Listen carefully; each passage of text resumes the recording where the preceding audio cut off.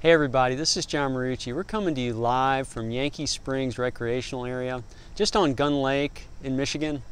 And we're going to talk tonight about a campsite review of Yankee Springs. You know, we've been coming to Yankee Springs for quite a while, both to recreate and to work, and we have quite a bit of insight on this specific campsite.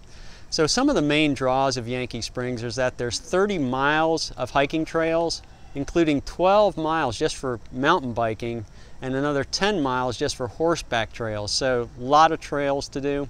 There's also nine full lakes located within the recreational area, two full fishing piers, two public beaches, and the campground is right on the shores of Gun Lake, which is quite a nice large lake in central Michigan here. And besides all that, it's only 30 minutes to the Gilmore Car Museum, which is one of the top five car museums in the country uh, rated by TripAdvisor.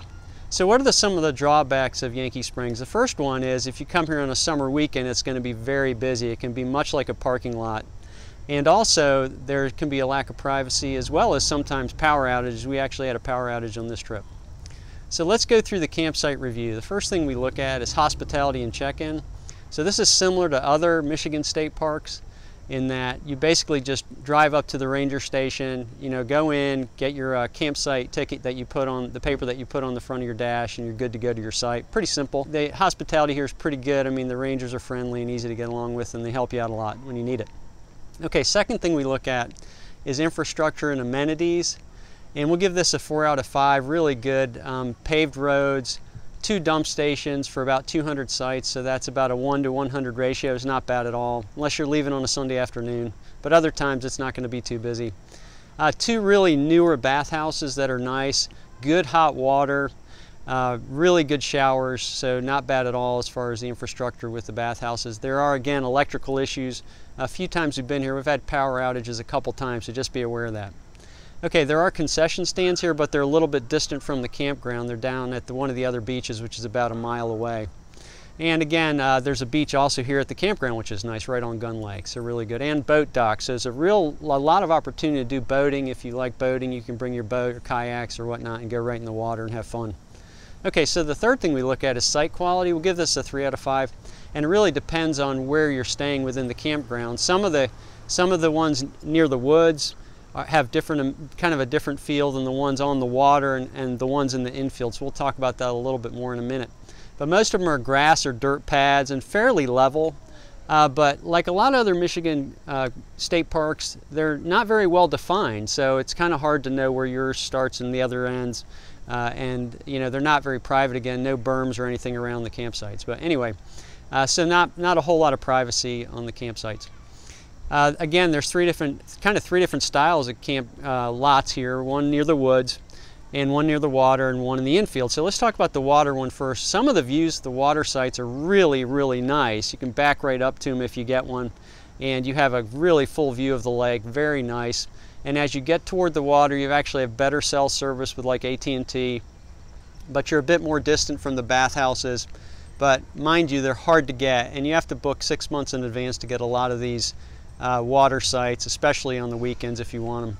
All right, the infield ones are a little different. They're nice because you can do group flexibility. In other words, kind of create a little interior area for your, uh, you know, if you have a few people bring in RVs, you can like park them in a specific way and have a little infield um, area that you guys can all enjoy.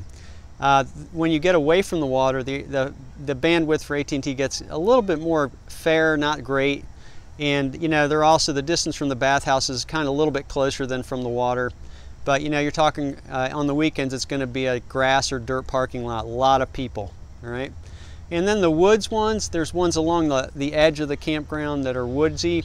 Again, very nice views if you want to kind of feel like you're in the woods. Uh, as you get to the woods, it's actually farther from the water, farthest from the water, and your AT&T is actually more spotty. And you're farthest from the bathhouse, so just be aware of that but they're also kind of easier to get than some of the water sites, so be aware of that. Now the spot we stayed at this, this time was on site 171, which is very close to the, the bathhouse, closest to the ranger station. Not much shade, very hot in the summer here. And the other thing, because we're close to the bathhouse, it's convenient, but there's a lot of traffic that goes back and forth by your RV, so just be aware of that. So there's pluses and minuses to being close to the bathhouse. Okay, the fourth thing we look at is exercisability. We're to get this a 4 out of 5. It's actually with the paved roads. You have paved roads on this peninsula. They go all the way out uh, past the ranger station all the way out to the peninsula. So you can get you can get pretty good a pretty good run in. We've done several runs this week, uh, including four and five miles, and even a weekend run that was eight miles. So you can do pretty good running here, and not only on the roads, but there's lots of trails you can hit too if you want to run on the trails. Okay, so the, the fifth thing we look at is workability. We're going to give this a 3 out of 5. Uh, the AT&T bandwidth where we are in the kind of in the middle of the campground here is okay, about 4, almost 5 down and about 2 megabits up.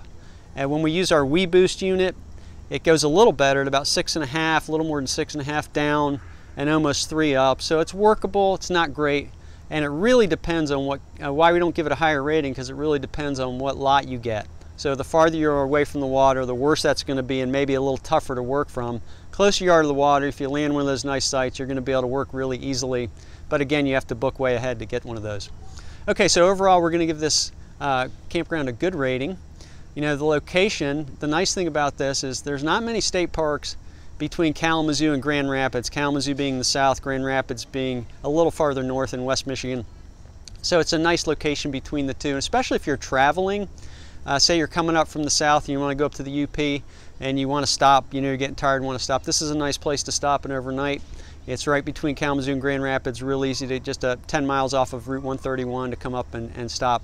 And by the way, again, it's you know 30 minutes from the Gilmore Car Museum, which is a great car museum. Uh, really, a lot of nice classic cars if you're into that at all, which I really like. You can hop over there for an afternoon and check out the car museum, really worth it. Okay, so in closing, uh, again, this is the, the review for Yankee Springs State Recreational Area in Michigan. Uh, if you like the video, please give it a thumbs up and feel free to subscribe. You know we love having you on the channel. And remember to follow us on Instagram at John Marucci and on Twitter at John Marucci. And again, it's John Marucci. Thanks for watching. Have a great day and so long for now.